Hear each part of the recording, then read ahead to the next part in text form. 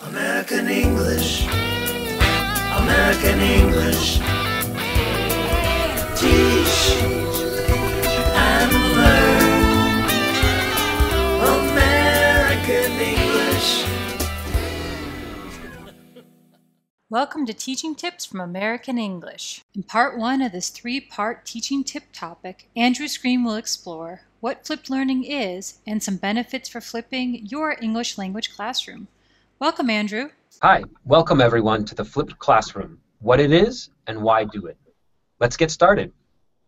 Let's look at today's goals. First, I'll show you what flipped learning is, and after, I'll point out some reasons why you might want to consider flipping learning. Flipped learning reverses what happens in class and out of class. In a non-flipped class, the teacher might explain or lecture in class and give students homework to practice the new skills outside of class. In flipped learning, students study new concepts and language constructs outside the classroom and practice their new skills inside the classroom. So one way of looking at flipped learning is moving what traditionally happens in the group learning space to the individual learning space, and then taking what traditionally happens in the individual learning space and moving it into the group learning space or classroom. This is a good visual of what flipped learning looks like. The teacher's role is more of a guide as students practice. The role of the teacher is not to be the almighty giver of information. Students can, in fact, learn the concepts outside of class and use class time to apply the concepts. The flippedlearning.org has provided four pillars for FLIP. The F stands for flexible. Effective flipping should have a flexible environment. This means that the instructor should consider his or her students' different learning styles and learning timeline, meaning that students learn at different paces.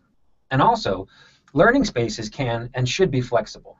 A flexible environment should facilitate learning. How does the furniture in your classroom dictate what you do in your classroom? The L stands for learning culture. In other words, the instruction is learner-centered rather than teacher-centered. The I stands for intentional content, which to me means that the class content is designed with the flip in mind. For example, if you're planning to teach a grammar structure, the content is accessed by students outside of class. The P stands for professional educator, meaning that the role of the teacher in a flip is to observe students. Flipping should allow more time in class to observe students using the language. Provide feedback. Students want this, and that is one of our roles as teachers, to provide guidance and feedback. Reflect. What is working in class in the flip and what is not? Then make changes as necessary based on your observations. And finally, tolerate organized chaos. In other words, when flipping, activities are more student-centered.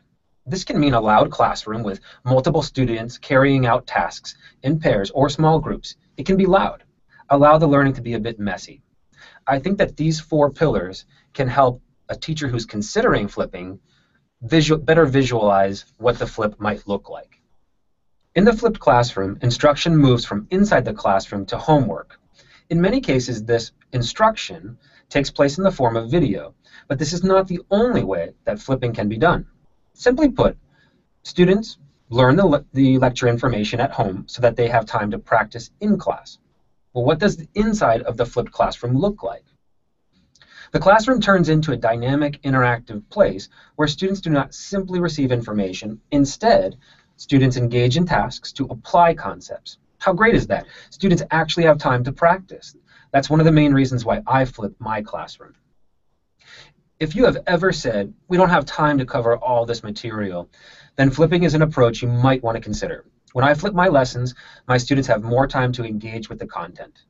Requiring students to learn at least basic concepts can promote autonomous learning. Students have to come to class with some knowledge. That's why you flip learning, because flipping can help with the pacing or speed of the class, and it can help to individualize learning. Without flipping, day one of new content can be painful, as teachers tend to teach to the average student's ability. As a result, the strong students are bored, and the students who are weaker are lost and or confused, and that's not fun for anybody. When learning is flipped, students are able to start the learning race in a similar place because they've all had a chance to prepare. In my experience, this means students ask better questions on the first day of a new unit. Why?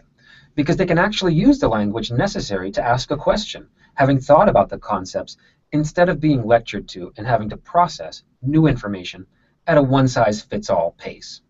So to sum up, today I showed you what flip learning is and some of the benefits of flipping so that you can decide whether it's a good option for you and your teaching context.